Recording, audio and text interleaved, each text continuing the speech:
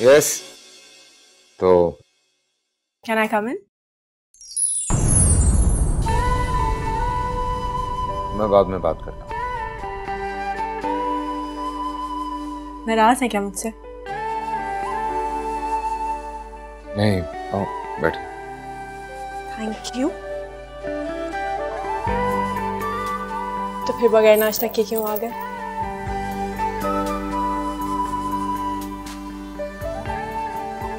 Meeting थी।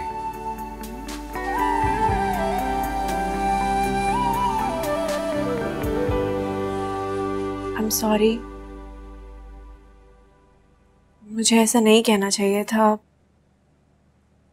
I am really sorry पता नहीं मेरे दिमाग में अगर कहने से पहले सोच लिया होता तो सॉरी कहने की नौबत ही ना आती। खैर। तुमने जो भी सोचा मेरे बारे में, या जो भी कहा, उसमें तुमने मेरा भला सोचा। मियाँ बीवी का ताल्लुक ऐसा ही होता है। दोनों हमेशा एक दूसरे का भला ही चाहते हैं। ऐसे में तुम्हारी अच्छाई समझाऊं या बढ़ाई, बात तो यही है। इसलिए मैं भी एक बात क्लियर करना चाहता हूँ, ये तुम्हारा मेरा जो ताल्लुक है, बहुत मायने रखता है मेरे लिए। दिलनशीन मैं कभी भी नहीं चाहता कि हमारे दरमियान कोई एक जरा सी भी दरार है मैं समझ सकता हूँ इस बात को। तुम्हारे लिए भी ये बहुत मुश्किल है कि मेरे माजी का प्यार तुम्हारी नज़रों के सामने है, तुम बर्दाश्त करती हो। हाँ। महमल की ज़िंदगी में बहुत सारे मसाइल हैं जो मुझे ही हल करने एक कज़न की हैसियत से। ना उसकी हैसियत मेरी ज़िंदगी में बदलेगी और ना कभी तुम्हारी। क्योंकि जब तुम मेरे साथ सच्ची हो तो कैसे हो सकता है कि मैं तुमसे झूठ बोलूँ? ना मुझे झूठ बोलना पसंद है ना ही सुनना। इसलिए तो तुम पसंद नहीं मुझे। अगर मैं चाहती तो तुम्हारी इज़्ज़त मिट्टी में मिला सकती थी। क्योंकि तुम जैसी लड़की जिसका माजी में कोई अफेयर रहा हैदर ना तो अपनी ज़िंदगी में बर्दाश्त कर सकता था और ना ही अपने घर में।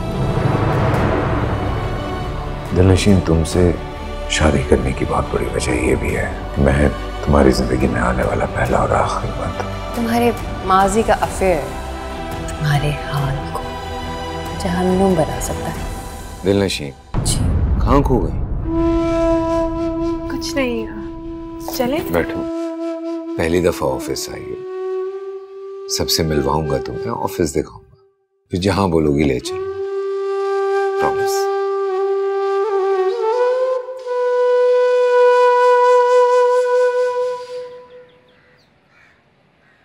नहीं, अम्मी, ये महज इत्तेफाक नहीं है।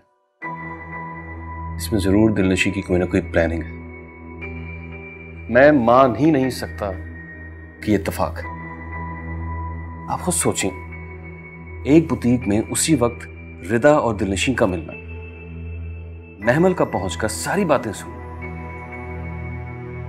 और ये बातें उसने सुनी नहीं है, बल्कि उसे सुनवाई गई। जो कुछ भी कर रही है दिलनशीन बहुत सोच समझ कर कर रही है। ताकि ज़बरदस्ती के रिश्ते का जो फंदा हमने उसकी गर्दन में लगाया था उससे वो आज़ाद हो सके। यावर दिलनशी ऐसा कुछ नहीं कर सकता। बहुत परेशान लग रही थी अम्मी वो। ज़ाहिर है अगर ये खबर तुम्हें गुड न्यूज़ की तरह सुनाई जाती तो तुम्हारा रिएक्शन ये ना होता या तो इस सब के पीछे दिलनशीन का नहीं हमसा का दिमाग है। क्या पता कि वो यहाँ से गया ही ना हो। सोचें जरा। अगर ये सब सच होता तो दिलनशी बहुत आराम से हैदर भाई को सारी बात बता के मैटर को सॉल्व कर लेती। उसे परेशान होने की या मुझे बताने की क्या ज़रूरत? थी ये सब उसने हमारा दिमाग बनाने के लिए कोशिश की। खुद को साफ़ बचाने के लिए उसने सारा मलबा हैदर पे डाल दिया। हैदर के माजी को निशाना बना के वो एक तीर से दो शिकार कर रही। यही तो मैं आपको समझाने की कोशिश कर रहा हूँ। दिलनशी ने इस रिश्ते को शुरू ही दिन से कबूल नहीं किया। वो हमारे कहने पर मजबूर होकर कई ज़रूर थी लेकिन उन लोगों से राबता नहीं तोड़ा था। पहले तो शायद मैं ना जाती लेकिन अब मुझे जाना पड़ेगा उसे भी तो पता चले जो खेल वो खेल रही है हमारे सामने खुल चुका है।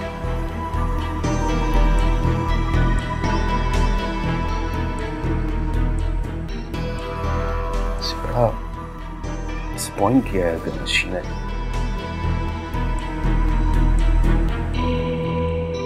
हाँ खाना इनका बहुत मज़े का होता है लेकिन नेक्स्ट टाइम डिजर्ट ज़रूर ट्राई करना है। इन लोगों के अस्सलाम वालेकुम माँ।